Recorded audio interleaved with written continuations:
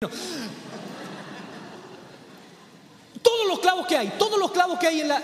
atención, todos los clavos que uno ve en los patriarcas, Abraham, Isaac y Jacob. Si uno lee el Génesis y yo les pregunto, ¿de qué se trata el Génesis? ¿Usted qué me dice? La respuesta inmediata. ¿De qué se trata el Génesis? Los inicios. La creación. La creación. Perfecto. Incorrecto. El tema principal de Génesis no es la creación. Por ejemplo, los, ¿cuántos capítulos tiene Génesis? ¿Cuánto? Mano, mire, la mayoría de los evangélicos tenemos un doctorado en Génesis. ¿Sabe por qué? ¿Sabe por qué? Porque cuando viene el primero de enero, ¿qué decimos? Voy a leer la Biblia en un año. Este año sí. Empieza el primero de enero, ¿dónde comenzamos a leer la Biblia? En Génesis. Viene octubre, el cumpleaños de mi mamá, ¿dónde estamos? En Génesis. Viene Navidad, ¿dónde quedamos? En Génesis, hermano. O sea, todos tenemos doctorado en Génesis. Génesis, si uno revisa, tiene 50 capítulos. ¿Cuáles son los que hablan de la creación? Dos capítulos y medio, nada más. ¿Y los otros capítulos de qué hablan? ¿Sabe de qué hablan? De clavo de familia, problemas de familia. Es decir, el tema principal de Génesis no es cómo Dios ordenó el universo, sino cómo Dios ordenó familias con clavos muy parecidos a las nuestras. Entonces, si, uno se da cuenta, empieza así mencionando Isaac, Abraham, Isaac y Jacob, familias con problemas, familias disfuncionales. El Mesías tuvo a estos abuelos, a estos tatara, tatarabuelos que ya venían con problemas. ¿Quieren conocer a las abuelas de Jesús? ¿Quiénes eran las abuelas que menciona Mateo? Mire, Mateo pudo haber dicho Sara, pudo haber mencionado a Rebeca o a Raquel, que eran las abuelas insignes, esposas de los patriarcas. ¿A quién menciona? Fíjense la primera abuela que menciona. Les quiero, les quiero invitar. La primera abuela que menciona. ¿Quién es? La primera abuela que menciona es una muchachita llamada Tamar. La primera abuela de Jesús. ¿Y por qué se conoce Tamar en la Biblia, en el libro de Génesis? ¿Sabe por qué se conoce? Porque esta muchachita sedujo a su suegro vistiéndose de prostituta. Se vistió de prostituta, sedujo a su suegro y tuvo un hijo con su suegro. La primera abuela que menciona Mateo está mal. Una muchachita que se viste de prostituta para seducir a su suegro. ¿Cuál es la segunda abuela que menciona Mateo? Raab. A diferencia de Tamar, no se disfraza de prostituta. Esta muchachita sí era prostituta de verdad. ¿Me siguen? La segunda abuela de Jesús era prostituta. Y aparte de ser prostituta, ¿saben qué? No era judía. Ella era ella vivía en los muros de Jericó, ¿se acuerdan de la historia? Era una prostituta que ni siquiera era judía. Por último hubiese sido de la nación de Israel. No, ni siquiera era de la nación, hermano. La tercera abuela es una muchachita que era viuda, una joven viuda llamada Ruth. Ruth, ¿de qué tribu venía? ¿De qué, de qué pueblo venía? ¿Se acuerdan? Empieza con M. De los marcianitas, ¿no? De Moab, era de la tierra de los moabitas. Ahora atención, los que, que aquí han leído, que, yo sé que lo han leído, los que han leído el libro de Deuteronomio dice, hay una estipulación tajante, ningún hijo de Israel se va a mezclar con las hijas de los moabitas, está estrictamente prohibido. Porque ustedes saben el clavo de los moabitas, ¿no? Las hijas, las primeras, las, eh, los primeros moabitas salieron del vientre de muchachas que se metieron con su padre, que lo habían emborrachado. Ustedes saben la historia. Entonces, Miren, ya tenemos hasta acá las abuelas que tenía Jesús. Miren las abuelas que nos muestra Mateo. Una señora, una muchacha que se viste de prostituta, otra que lo era de verdad, otra que era de, lo, era de la tierra de los moabitas. Mire, por otro lado, qué maravilloso. Porque si Jesús hubiese tenido solamente descendencia o ascendencia israelita, imagínense, hubiese muerto en la cruz y la sangre que hubiese derramado hubiese sido sangre israelita. Pero las abuelas de Jesús fueron mujeres que no pertenecían a la tribu de Israel, porque en la sangre de Jesús tenía que venir sangre también que no fuera israelita, porque la sangre que se derramó no solamente fue por su pueblo, sino que fue para todos los pueblos de la tierra. ¿Qué otra abuela aparece? ¿Qué otra abuela aparece? Mire el versículo 6, no tiene el nombre, no aparece con el nombre, pero es señalada. Versículo 6 dice, Isaí engendró al rey David y el rey David engendró a Salomón, ¿de quién? De la que fue mujer de Urías. ¿Quién es esa mujer? Betsabé. Pero ¿por qué no la menciona? ¿Por qué tiene que mencionar esa historia trágica de este rey de acuerdo al corazón de Dios? En, esta historia David no aparece el hombre conforme al corazón de Dios, no, aparece un asesino y adúltero. Fíjense, fíjense cómo escribe Mateo. Mire, imagínense, si esta historia, si esta genealogía yo la llevo, eh, eh, eh, yo llevo a David, perdónenme la expresión, yo, tengo respeto de todos los personajes de la Biblia, pero en este momento Mateo como nos lo va contando, nos viene mostrando esa imagen oscura de David que es, pero para, es para llevarlo al show de, esta, la señorita Laura. ¿Y usted por qué está embarazada? No, es que el rey abusó de mí y mató a mi esposo. ¿Qué pasa el desgraciado? Y ahí tiene que pasar David. Perdónenme si les ofende esto, pero perdónenme, así lo cuenta Mateo, yo no tengo la culpa. Mateo dice, y Salomón vino, no dice de Betsabé, de la que fue mujer de Urías.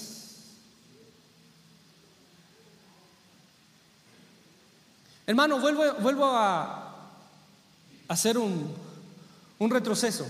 Si usted quisiera mostrar que Jesús es el Mesías y quiere mostrar cómo es su familia, yo creo que Mateo está haciendo algo que no es sabio.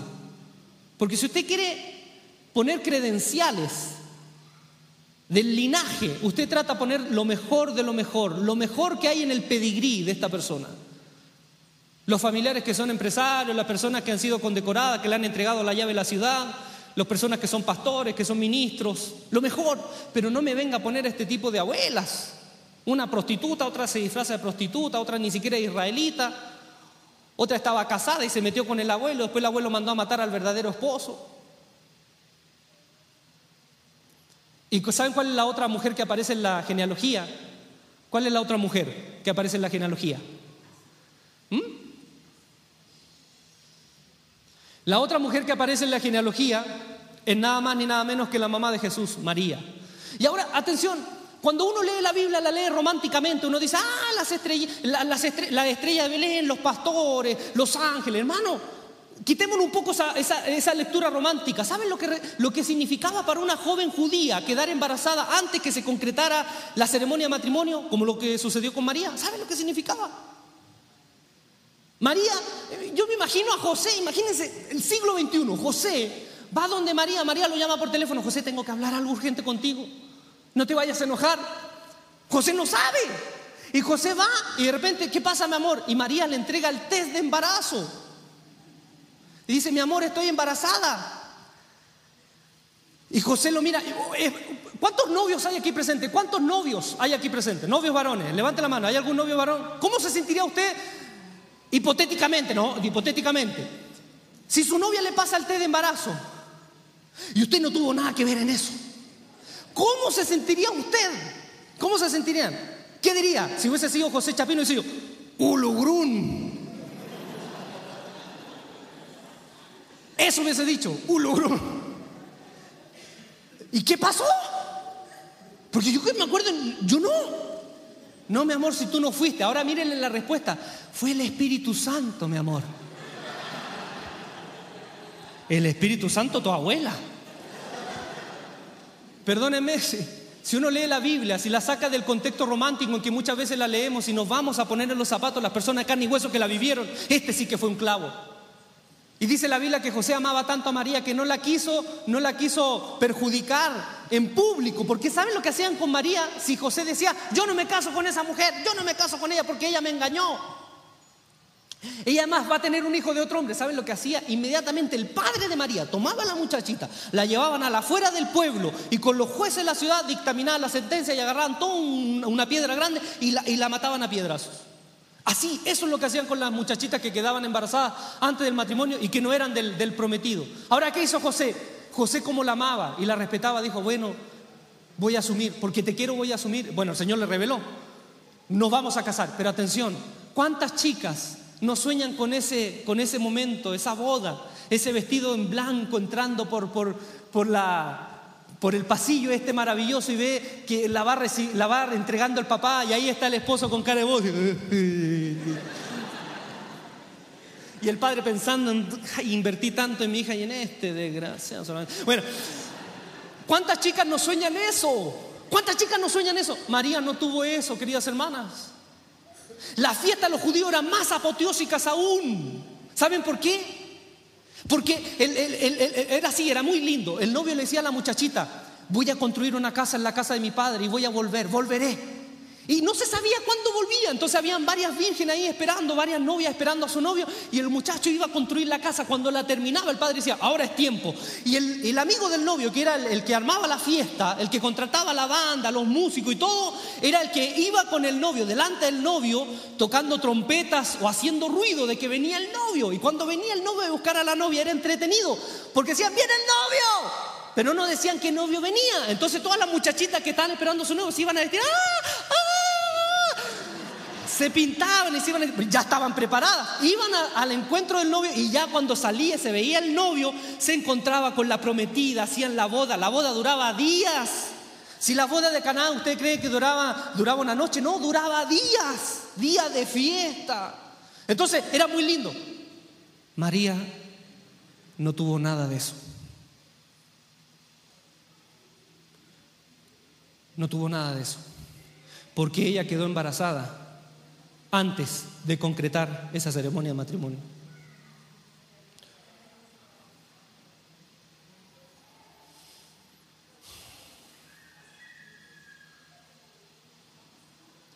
Todos hemos visto la vecindad del chavo, ¿no? El chavo del 8. Qué bonita vecindad. Les traigo una revelación hoy en la mañana. El Señor me lo reveló hoy. Nómbreme una sola familia del chavo que esté completa.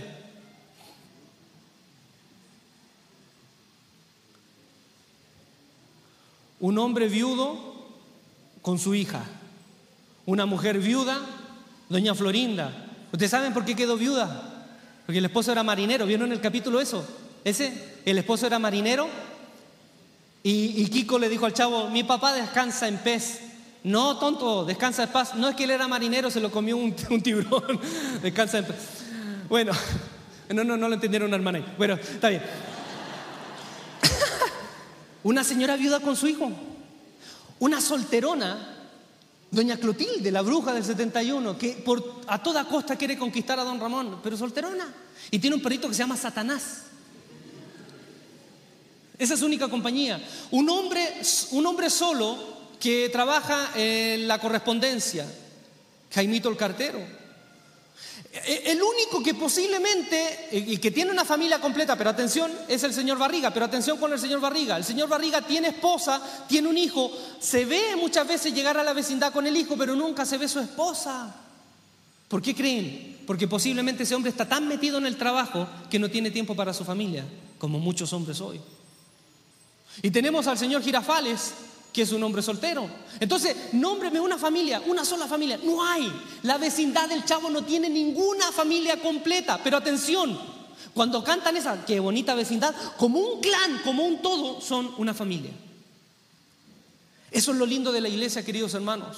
Lo lindo de la iglesia y lo lindo de esta genealogía que Jesús nos quiere decir una y otra vez a través de este mensaje, que Jesús es el rey que vino a bendecir las familias de la tierra. Y a pesar que Él eligió nacer en una familia disfuncional, con clavos horribles, Él vino para ayudarnos a escribir una nueva historia, a dejar el pasado atrás, no importa cómo fue nuestra historia familiar, y comenzar a escribir una nueva historia, una historia milagrosa de la mano con Jesús. Y quiero terminar con esto. Si uno revisa la, genealogía, se da cuenta de los abuelos de Jesús. Mateo, fíjese, tome atención, nombra 15 reyes. 15 reyes aparecen en la lista. De los 15, 7 abuelos, o sea, 7 reyes fueron pésimos, pésimos padres. Pésimos padres. Tanto así que dos de ellos sobresalen. Acaz y Manasés. ¿Saben lo que hacían Acaz y Manasés? Acaz y Manasés aparte de, ser judíos, ellos rendían culto a un dios pagano que se llamaba Moloch. ¿Saben lo que hacían? ¿Cuál era la ofrenda que pedía Moloch? La ofrenda de Moloch eran los hijos primogénitos de los padres.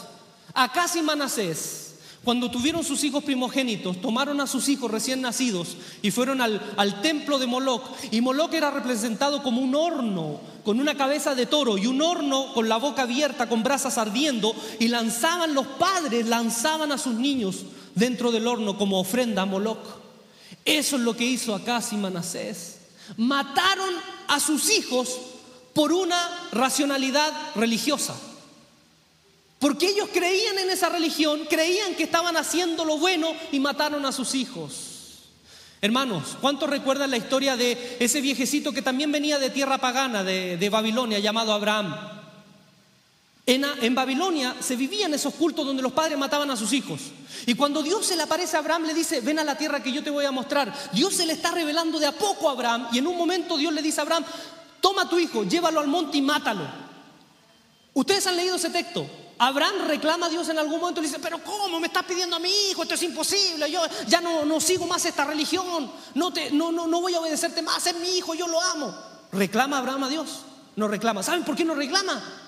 Porque Abraham, mire, esto no lo dice el texto, pero si uno estudia la historia, Abraham viene de una tierra pagana en donde los padres hacían eso. Por eso que para él no era extraño que Dios le dijera, mata a tu hijo. Además, la historia, cuando uno lee en el hebreo, eh, eh, Isaac no era un niñito, era ya un joven adolescente. Uno entendería hoy que algún padre de repente le dé gana de, a su hijo adolescente, pero tampoco.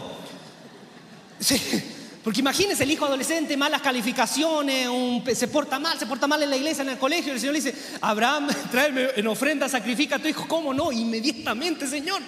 Pero atención, Abraham cuando va a levantar el cuchillo, ¿qué es lo que hace Dios? Dios deja que Abraham mate a su hijo. Le dice, no, no lo hagas. ¿Por qué? Porque yo no soy como los dioses paganos que piden la vida de tus hijos. Y dice, como tú no me negaste a tu hijo, es decir, a pesar de que eres un viejo que viene de la tierra pagana y estás acostumbrado a pensar de que los dioses piden que maten a sus hijos, a pesar de, esa racionalidad religiosa de muerte, tú no me negaste a tu hijo, decir, detuviste el cuchillo y lo entregaste vivo a este Dios que avala la vida. Porque Dios no avala la muerte, avala la vida. Ahora déjenme decirle esto, ¿por qué, ¿por qué menciona a Abraham y por qué menciona a estos dos abuelos? Hermanos, y esto sí que es doloroso. ¿Cuántos de nosotros como padres como acaso Manasés o como Abraham, no matamos a nuestros hijos físicamente, pero por la religiosidad que llevamos en la cabeza, matamos espiritualmente a nuestros hijos. ¿Saben por qué hay un porcentaje grande de chicos que no quieren nada con la iglesia? No por culpa de Dios ni por culpa de la iglesia, es por culpa de la religiosidad de sus padres, que los presionan tanto y les entregan un evangelio que en el fondo no es evangelio, sino que es una mezcla, una, cosa mixturada entre, entre eh, religiosidad popular y lo que te enseñó una persona y tú lo aceptaste así sin ni siquiera tener la, discernimiento para leer la Biblia si era cierto o no. Ahogaste la vida espiritual de tus hijos. Yo como pastor de jóvenes me tengo que encontrar en campamentos con jóvenes llorando, que me dicen, pastor, yo no voy a la iglesia y no quiero nada con la iglesia, pero no es que tenga clavos con Dios, es que mi papá y mi mamá van a una iglesia que literalmente el Dios que predican es un monstruo. ¿Cuántos padres han matado espiritualmente a sus hijos? La Biblia dice en el Evangelio de Marcos, dice, aquel que cree el Evangelio será salvo. El problema es que hay muchas personas que no creen, no porque no creen en el Evangelio, porque le hemos predicado un mensaje adulterado que nosotros creemos que es evangelio. Entonces, hermanos, si hacemos toda la, radiografía, si nos quedamos hasta aquí solamente, volvemos al comienzo. La familia de Jesús no era una familia perfecta. Como también tu familia no es perfecta, ni mi familia es perfecta. Termina diciendo Mateo, de Abraham hasta David, 14 generaciones. Desde David hasta la deportación de Babilonia, 14 generaciones. Y de la deportación de Babilonia hasta el nacimiento de Jesús, 14 generaciones. ¿Qué quiere decir con eso? ¿Qué quiere decir? Algo está diciendo, al terminar el mensaje algo está diciendo. Los judíos tenían la costumbre de a veces mencionar números para hablar de algo más profundo. ¿Se acuerdan Apocalipsis cuando dice el número de la bestia cuál es? Y menciona un número, un número, 666, número de hombre. Ah, ahí hay una clave, los judíos tenían eso, a veces, muchas veces utilizaban números para hablar de algo más profundo. Si uno, si uno toma la suma de estas tres, de estas tres bloques de 14 generaciones, ¿cuántas generaciones en total hay? 42, ok. Si uno se da cuenta, si uno hace, los que son matemáticos, aquí si hay algún matemático, ¿sabe? Porque yo no soy matemático yo me he esforzado para, tratar de explicar esto, porque ni yo lo entiendo. Eh, si uno, se, si uno se da cuenta, aparece el 6 y 7 que es múltiplo de 42. Si uno divide estos tres bloques en, en dos, se da cuenta que tiene seis bloques de siete generaciones y en total son 42. Ahora atención, ¿por qué aparece el 6 y el 7 como de manera ahí media oculta? ¿Por qué? Porque en la numerología judía el 6 siempre tiene que ver con, el número de hombre, algo que es imperfecto, que no alcanza a ser perfecto, que toma la intención, pero no le da. Número 6, número de hombre, de imperfección. Y el 7 es número de perfección. Ahora, si uno se da cuenta, ¿saben cuál es el gran milagro y quién es lo que quiere terminar diciendo Mateo? Que Jesús siendo Dios, se hizo hombre, siendo lo perfecto, quiso engranarse con lo imperfecto que somos nosotros. Él siendo, el, él siendo el santo y habitando en la santidad, Él quiso ser parte de todos nuestros clavos familiares que están llenos de mentiras, de homicidios, de adulterio, de engaños, de peleas fraternales, de divisiones entre padres e hijos. Él quiso hacerse parte de nuestras historias imperfectas para invitarnos a escribir una nueva historia.